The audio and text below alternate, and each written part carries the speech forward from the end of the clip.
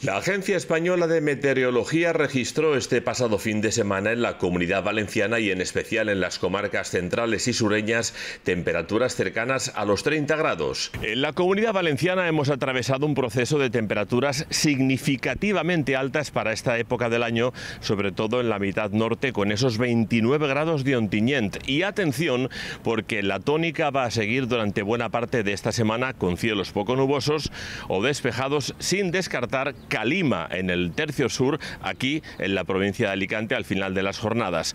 Todo esto animado por un viento flojo, variable, con predominio de la componente este por la tarde con intervalos moderados en el litoral. Para mañana se espera un panorama sin nubes. Tanto la máxima como la mínima en Alicante se mantendrán sin muchos cambios, 22 y 14 grados respectivamente, con 23 grados de sensación térmica máxima y 15 de mínima. También se sucederán vientos flojos de dirección este.